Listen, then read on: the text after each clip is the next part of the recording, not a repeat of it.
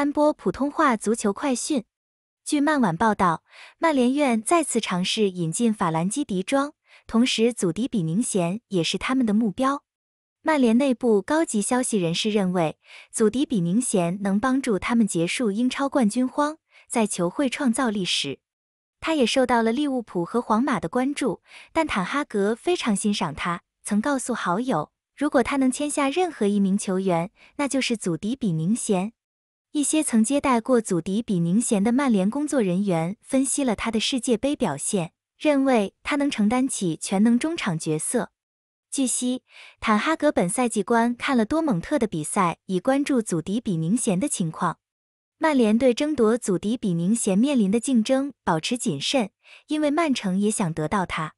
尽管公开表示想留在巴塞，但法兰基迪庄私下向坦哈格保证他会很乐意加盟曼联。曼联今夏曾与巴塞达成八千五百万欧元的转会协定，但法兰基迪庄延期支付的工资成为了阻碍。坦哈格认为法兰基迪庄是世界级的天才，能融入球队并提供平衡。感谢你收听安波普通话足球快讯，感谢你的支持并订阅我们的频道。